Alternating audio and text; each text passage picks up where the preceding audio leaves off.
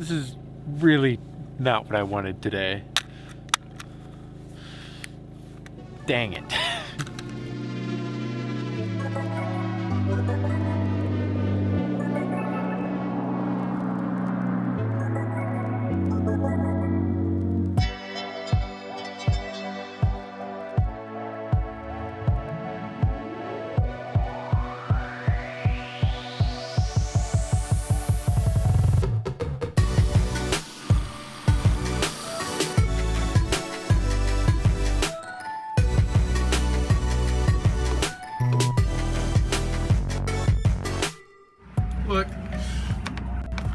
ice in my water jug. hey friend, good morning. Levi here. This might be some of the coldest camping I've done on a Sprinter van so far. Uh, first objective of today is just get coffee made, and we'll we'll we'll tackle the rest of it then. It's gonna be a big day. I'm looking forward to it.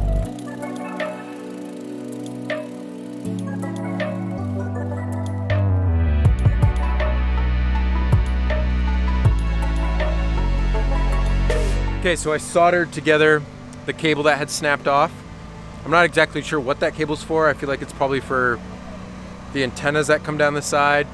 I'm not exactly sure, but I'm gonna boot everything up here and we'll see how the first flight goes after, after the crash from 30 feet to pavement.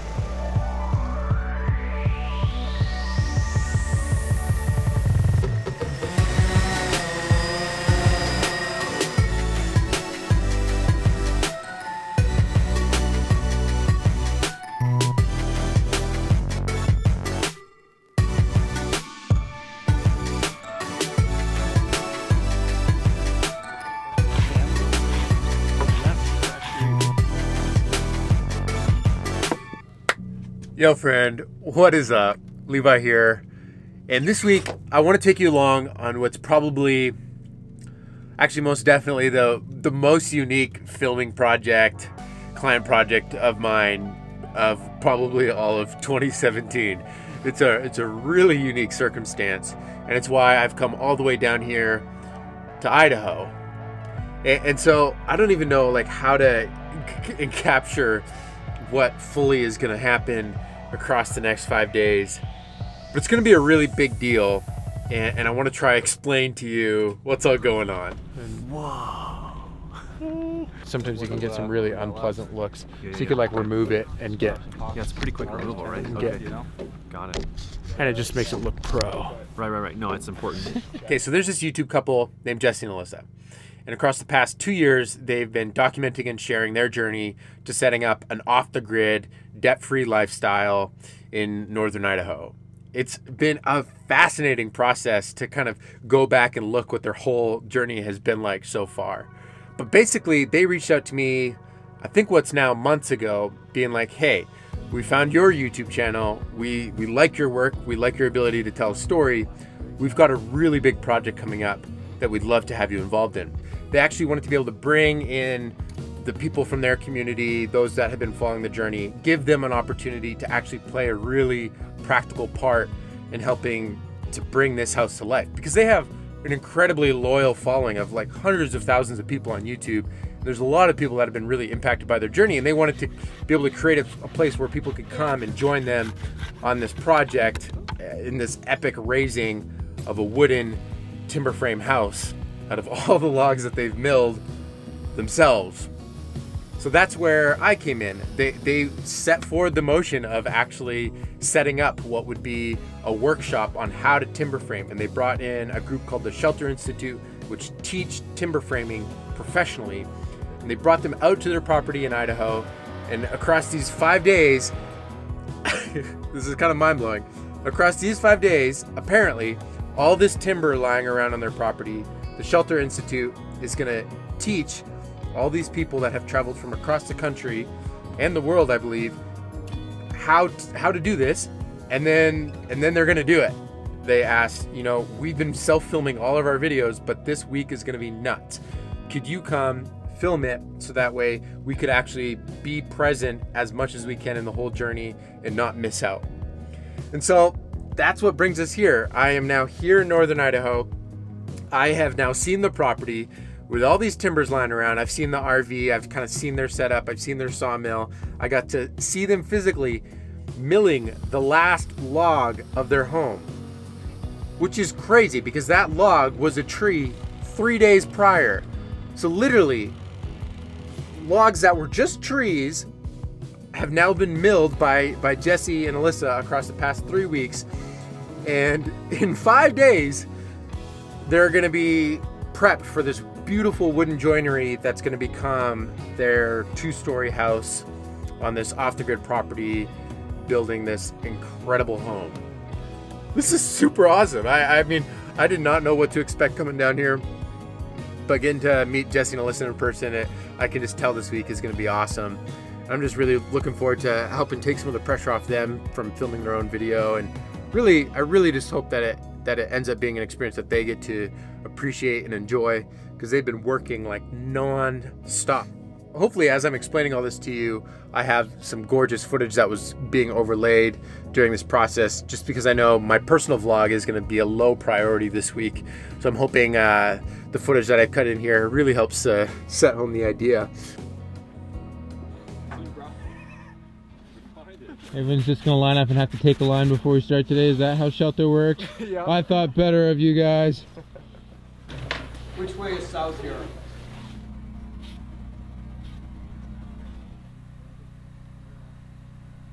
Okay, so we're here this morning. First full day of the workshop.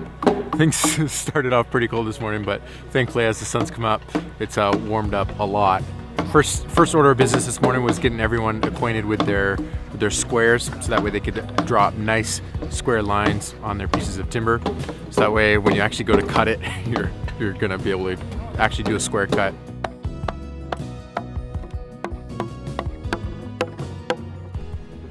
What's going on here this morning? Well, I just lost my tape measure again.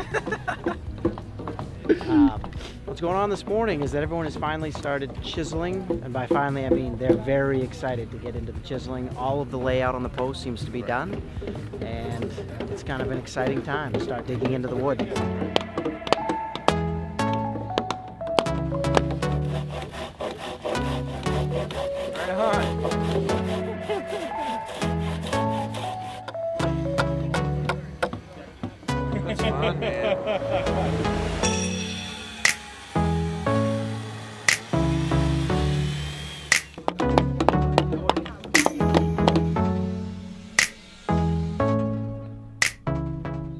So you just bought this on Amazon, eh? Can we put an Amazon link in the description? Or Yeah, the affiliate link will be will be down in the description. check the description. description.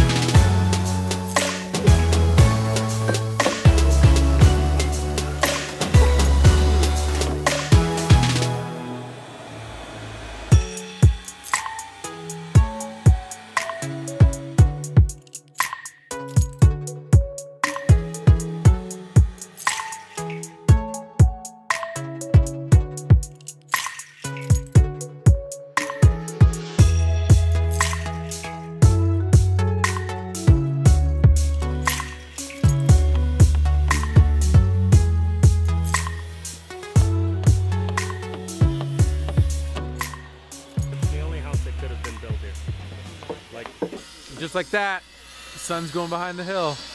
All this work's gonna come to an end in, in just a moment or two. Five o'clock's cutoff time. Sun's going down, temperature's gonna drop. What's up? So the theme of today is hurry, winter is coming. Pretty much all you see is snow. I see a lot of snow on there. And my mom, like every hour, not really, is sending me a more official forecast with percentages of snow, and it looks like it's snowing. So what So- does that mean? I think that means work as hard and as long as you can today, just in case, because weather could slow us down. Look at that pretty tenon. It's looking pretty good.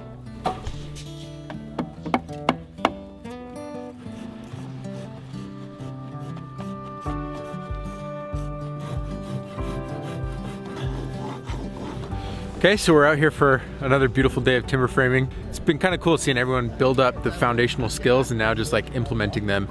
But uh, it'll be interesting to see how everything comes together. So far, the progress has been fantastic. The only issue is as we look at weather, the weather is not promising at all for later in the week.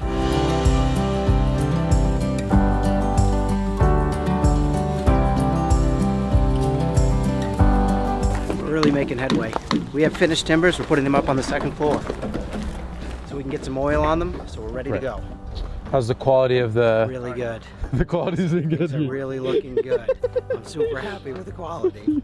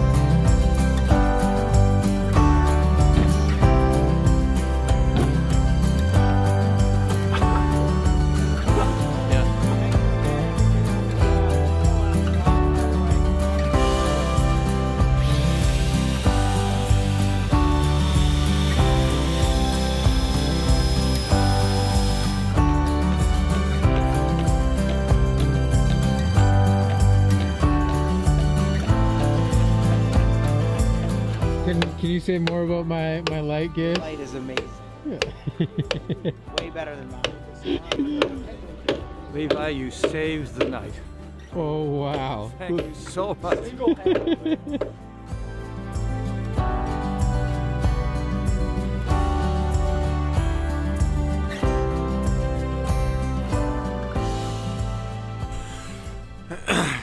Hey friend, good morning. Levi here. Woke up this morning. Uh, today's the big day. Today's the timber frame raising day. And uh, let's take a look outside. Hopefully the weather cooperated, right? Yeah, no. I'm not saying it's chaos out here, but uh, it's probably just about as close as it feels like to chaos on a day when it's timber frame raising time. Yeah. So there's a lot of filming I got to get going on. Whew. Hopefully this all works out. It, it should.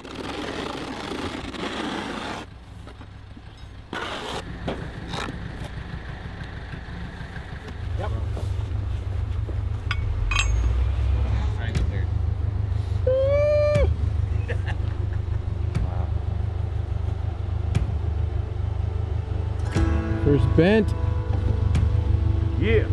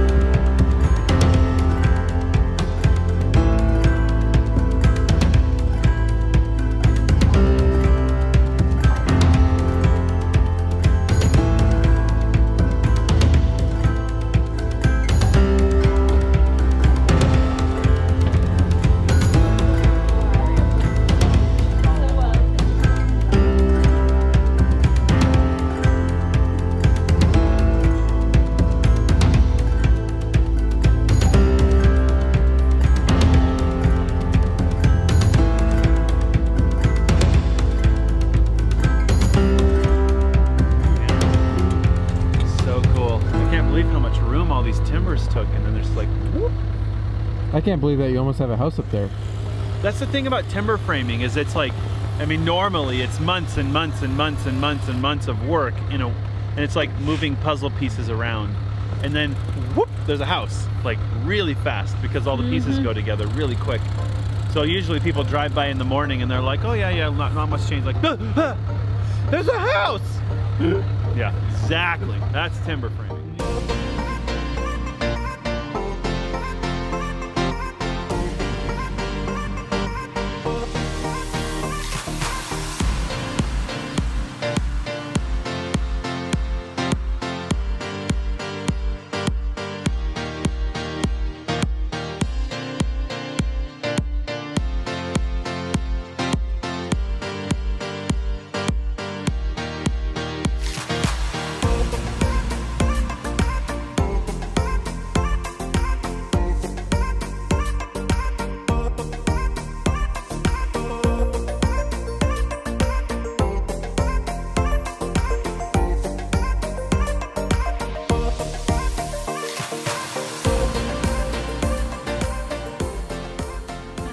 It's been a good week, guys. This Dude. was awesome. Had a lot, Nailed lot of fun meeting your people that came from all over the country and even the world to come build this house with you guys. I Yeah. think, I think it was mutual. Yeah. I think they liked you, Levi. I, I always have fun on a project where I get to learn something, and I learned a lot this week, so it was, Everyone's it's like, such a Levi's treat. so cool. Like, he just got in there and started chiseling. And, like, do you think someone like me could do that? Levi was full on having a snowball fight with like a seven year old, a 10 year old, and like a three year old. I saw this, but there was no camera, I don't think. But it was it was a flippin' It was riot. awesome. Yeah, So. Levi's got like machine guns and it's like obliterated. it's kid. kind of unfair. Levi just fit right in. It was And all the parents are like, yes. Right. yeah. Well, I think everyone should go check out, especially, especially these videos uh, from the the raising of the timber frame, but even checking out all the videos leading up to here. It's pretty crazy to see what they've done with this property. So thanks for allowing me to be a part of the project, you guys. Yeah. And Thank uh, you. until the next one. Yes. Wow.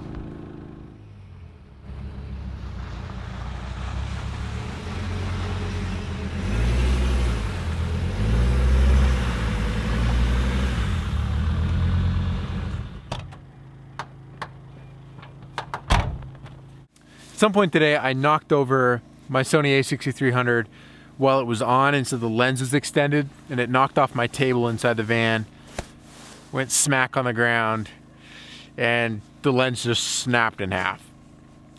That is that is really unfortunate. I did not intend for that to happen, uh, and it kind of sucks. But uh, yeah, filming this week was uh, a good challenge. It was fun to kind of tackle making sure that I was getting enough footage and also balancing the me interacting behind the camera because they asked for a bit of that and kind of making it vlog style but documentary style. I'm curious to see how it goes for them editing the material together because that was kind of one of the things with this project where I would just shoot all the material, pass it over to them, and they would edit it because frankly I didn't even have time to take on another project with editing. So it's kind of nice to just come in, do what I do best, which I think is the shooting, pass it all over to them and just kind of see what they come up with. Uh, I've been really loving the GH5 rig that I've kind of set up here with going between just using the one wooden handle from Small Rig, and also adding on the additional handle.